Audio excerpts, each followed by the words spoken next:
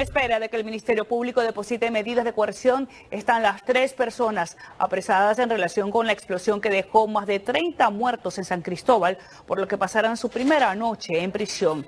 En directo, Joanel Zavala nos amplía. Cuéntanos, Joanel, buenas noches.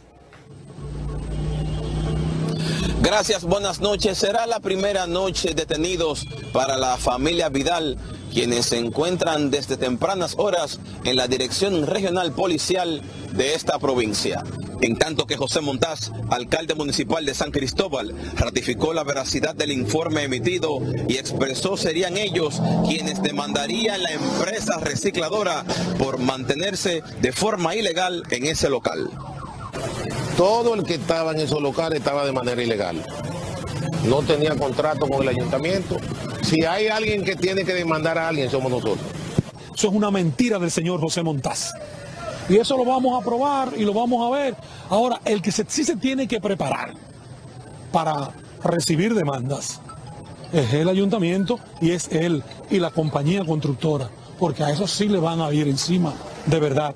De su lado, la Asociación Nacional de Recicladores calificó como una aberración el informe presentado sobre la explosión y acusaron al Ministerio Público de tomar como chivo expiatorio a la empresa Vidal Plast.